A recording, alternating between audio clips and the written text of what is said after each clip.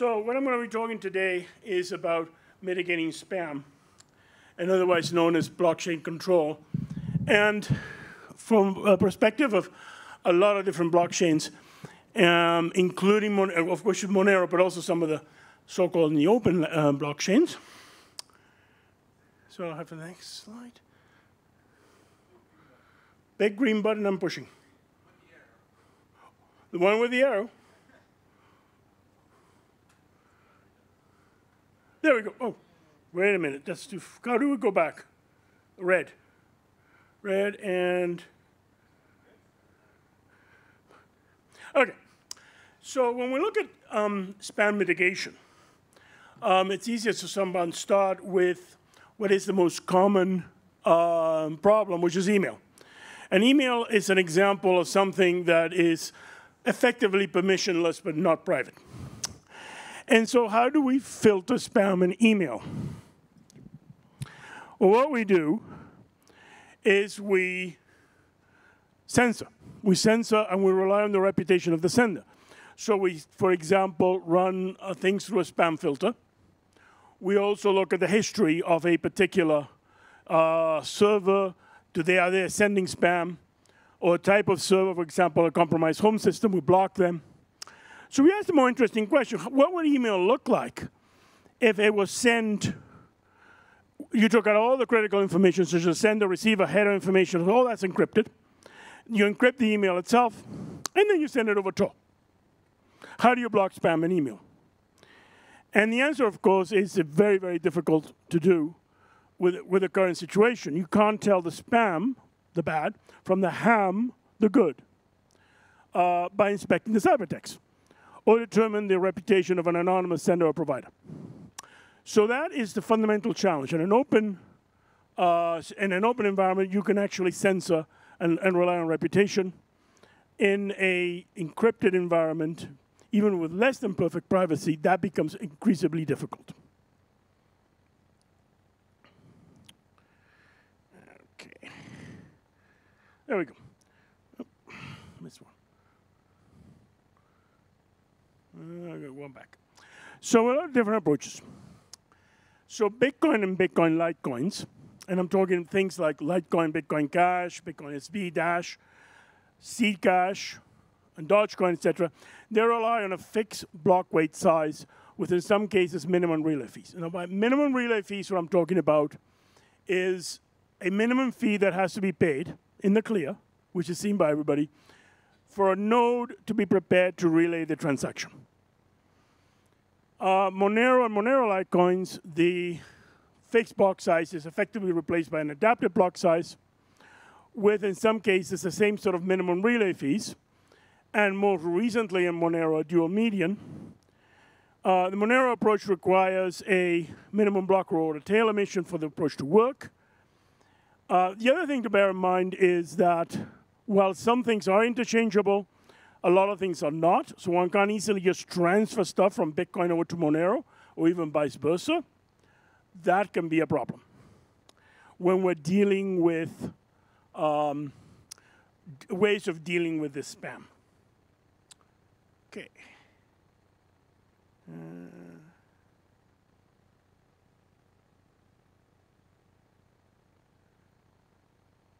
am I getting a problem here with this thing?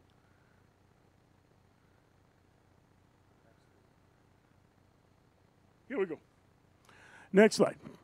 Okay, Litecoin. So there's a few, oh, I missed one. I missed Bitcoin, and Bitcoin Cash. There we go. Bitcoin. This is the first introduction of the one megabyte block weight size in 2010.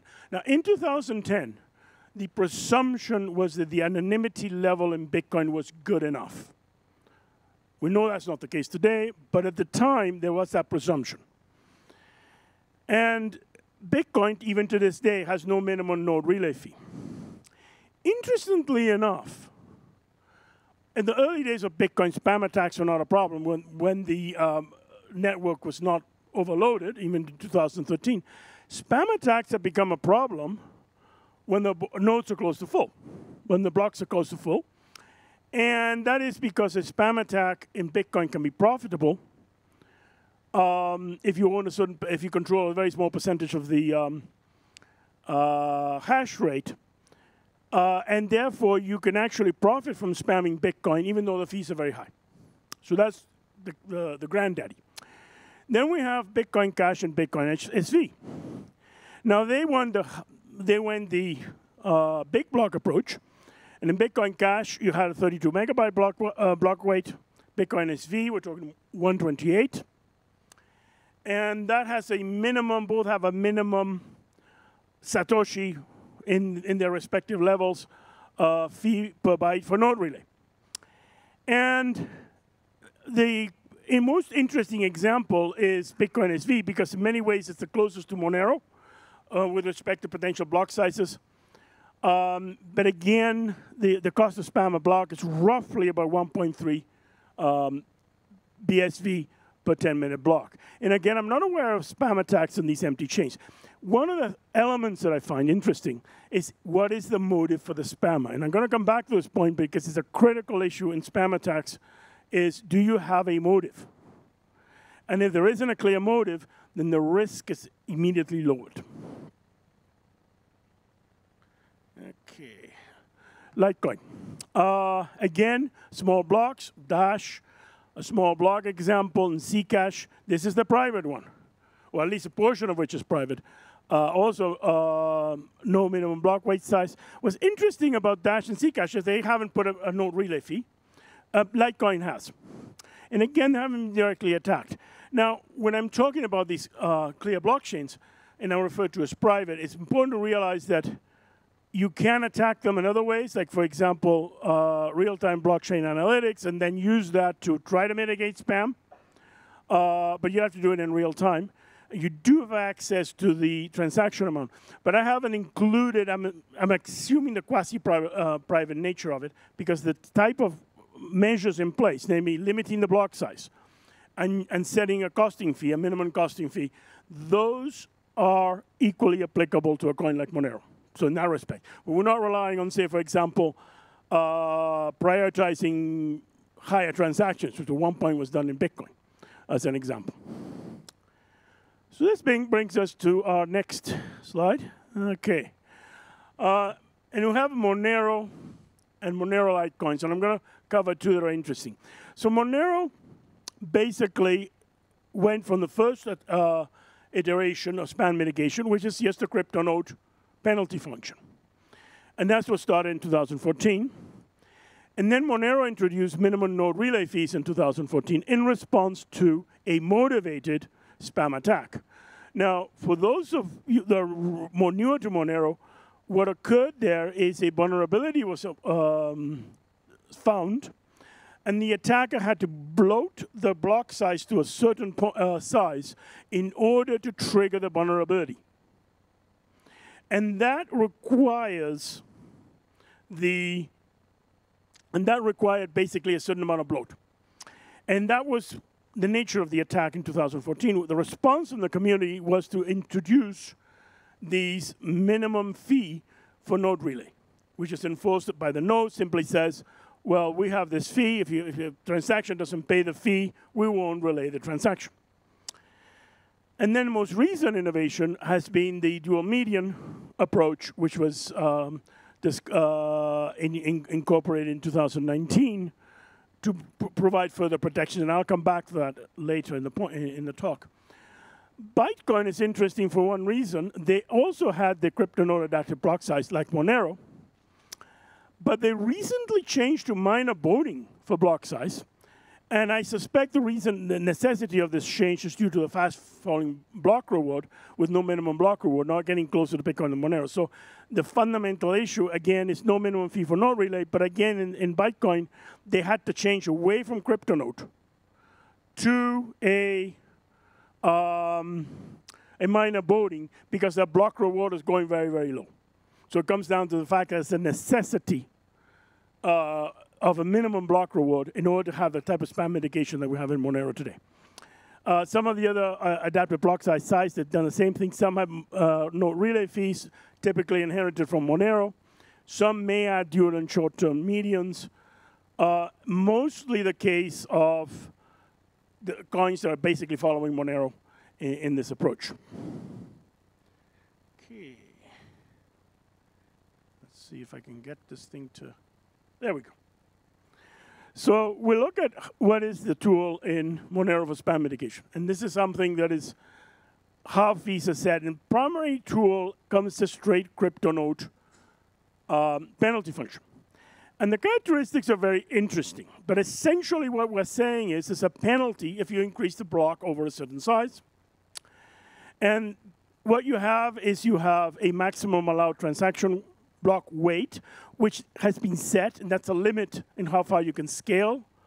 And then you take the median over 100 blocks of all the this, the um, the blocks, and then that allows you to then move to the next uh, to, to your next block, um, base block size. So you have to have at least 50 blocks of that size, and then it moves to that size. And this that's the basic rule. And the rule is a penalty paid by the miner. And the key element of this that needs to be understood is that the penalty for an additional transaction has to be compensated from the fees the transaction pays. That is how fees are set in Monero. So the if you want to mine a transaction, you need to pay, and you're going to attract a penalty by adding that transaction, or more correctly, an additional penalty. Then you have to have enough fees in the transaction to justify you mining that transaction. And that's the rational miner um, argument. the next slide here. Uh, there we go. So basically, what one can do is one can look at this, uh, write the penalty uh, in a simplified manner. And essentially, we take uh, the percentage increase in the block size, which is B, and then we write the penalty strictly speaking, as the penalty that's attracted is the block reward, which is our base, the basic uh, block reward, times this percentage uh, block size increase squared. That is a simple. That is essentially we, we rewrite the um, CryptoNote penalty formula in terms of this ratio B, which is essentially if you have 300,000 byte block, you're adding say 30,000 bytes the, ra the ratio for B would be uh, 0.1. If you're adding 3,000, it's 0.01. So that gives you the amount of penalty that you're going to pay when you, when you do that. And the more interesting thing is we look at the first derivative of the penalty with respect to B. So we look at the incremental penalty that is going to be paid um, when you add a transaction. And this is a critical transaction um, parameter. So essentially what happens is we have a transaction T with size MT, and then we look at, and we're already in the penalty regime, and then we look at what the additional penalty will be to add that transaction. So you're a rational miner, and you want to add one transaction. And that transaction has a fee and has a penalty. And if you optimize your, your, your mining algorithm what you do is you order your transactions roughly in order, for example, fee paying per byte. It's not strictly the optimal, but it's close to it. And then you come up with this is how much penalty I attract. This is how much fees I get. The minute I'm in the negative in the incremental transaction, then I stop adding transactions to the block and I release my mine block. And there's two cases here. And uh, if you then expand the equation, basically it's a quadratic equation. You have 2b which is the case where, and you have the b squared term. When b is 0, which you write at the penalty, that the only term is b squared, and that is the term that is used to determine the normal fee. And that 2bbt is the fee is the term that you use in order to determine an incremental fee that a miner would pay. And, and so this is basically your um, fee per byte. So this is how fees are determined in Monero, because the entire um, all the transactions are basically competing against the penalty. So you have a fee market, but the fee market is among transactions themselves on a block, but also you're collectively competing against this penalty in order to get your transactions in. The next slide here. So in this example, we're going to set the reference transaction, which is basically how we set the, the, the normal fee. you take 3,000 bytes, which is kind of a bit of a typical transaction with, with a safety margin. You then look at the minimum block size, which is 300,000 bytes. You consider a, a two input, two output transaction, at a small margin. Normal fee per byte then becomes essentially the formula is R based as BR or MN, and BR is MN or that's the size of the transaction plus the over the ratio, which is 0.01. And this is to ensure that a typical transaction will pay a fee that's large enough to scale the block weight. And so you avoid a situation where everybody's trying to, they, they don't take the default fee. If they take the normal fee, then it's at least enough to create scaling in, in, in, in the block. At the, uh, and then we design the two other fees that are set based on this. The normal fee is 2 times x, sorry, the low fee, and, the no, and then there's a high fee of 5 times x. Those ratios are basically arbitrary in the sense that we can change those. In particular, if you want to increase the low fee, one can be do that. You just have to be careful that we increase it too much, then you kind of negate the fee market for the penalty itself.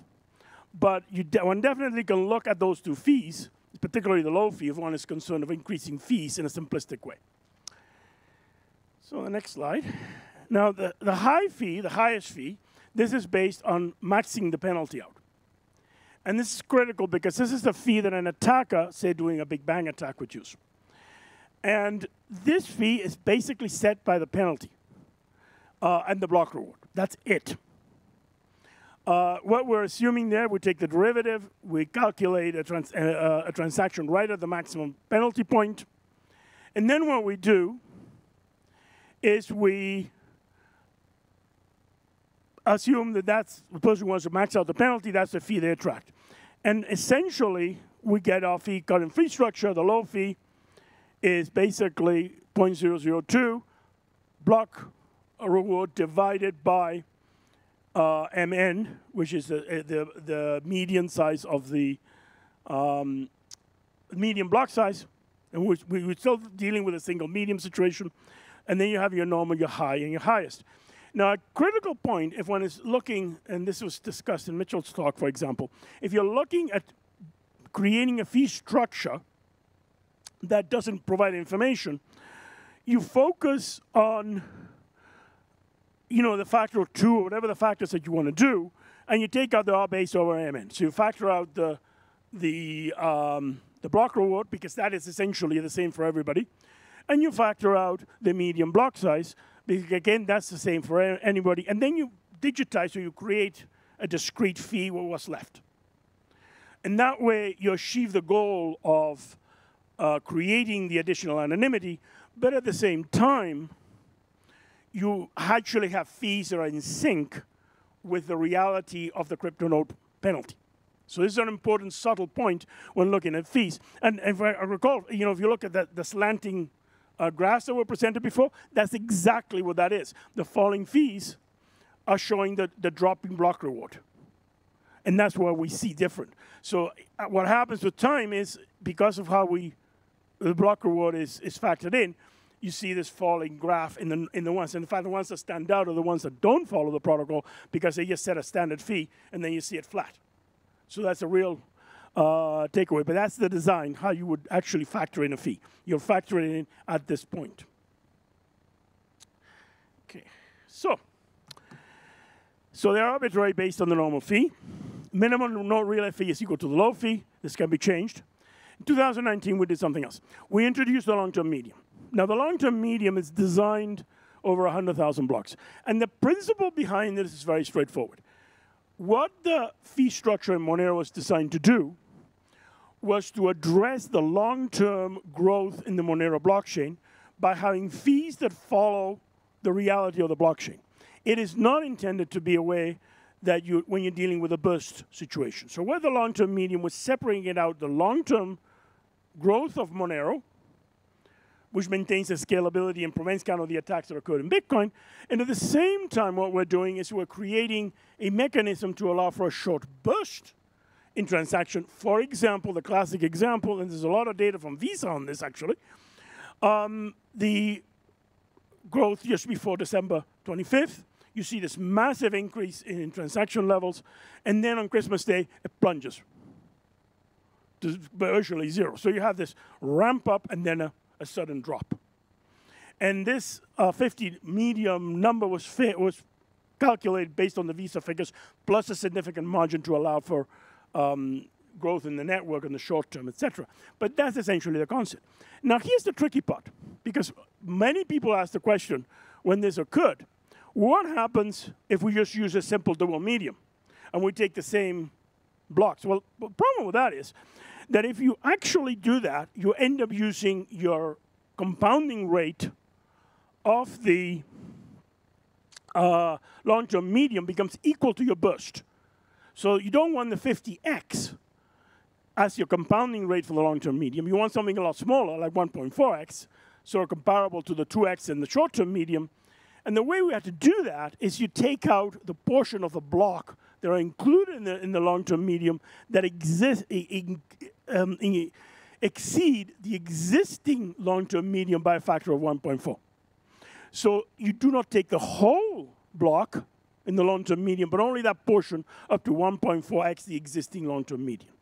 And that allows you to control the growth of the long-term median to a reasonable level, which is independent of the 50x that you need to address transaction in the short term.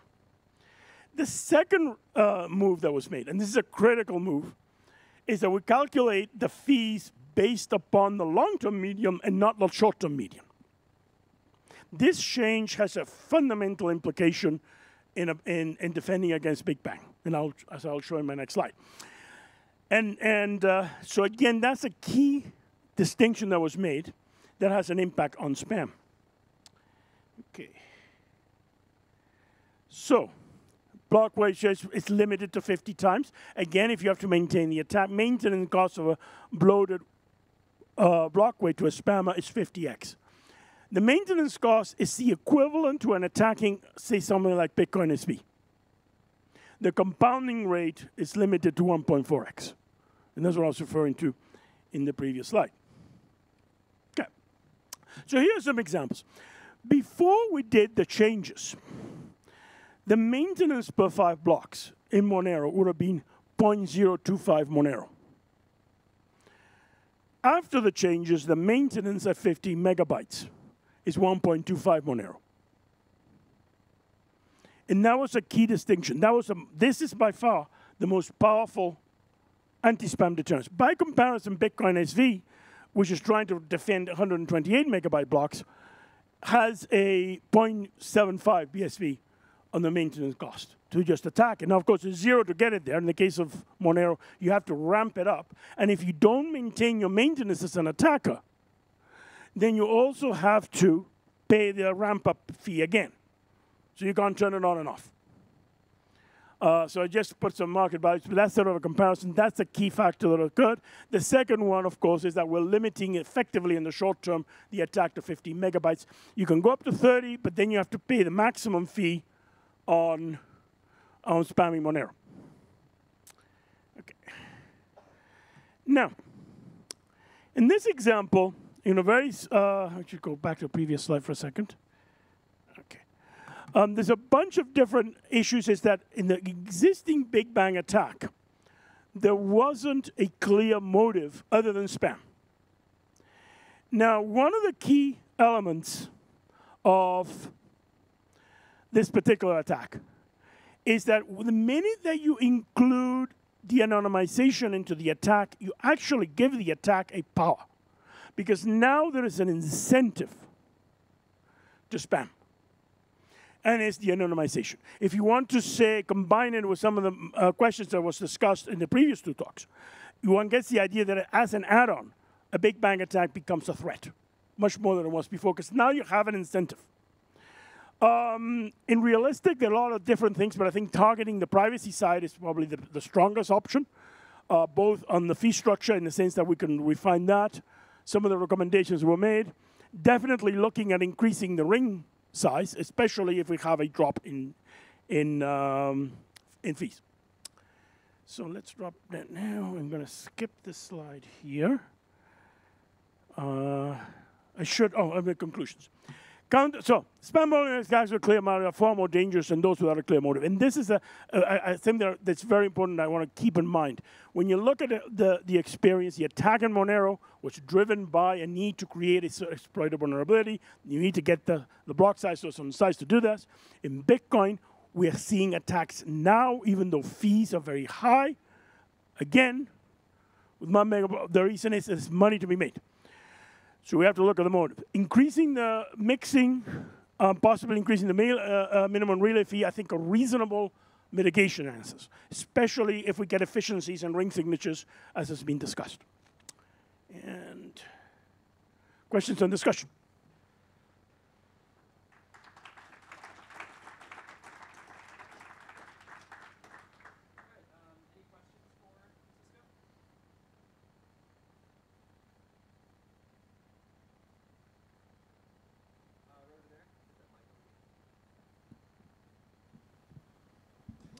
Uh, you mentioned briefly the attack on anonymity. It's kind of been discussed in the last couple of months of bloating uh, ring sizes with outputs that you own.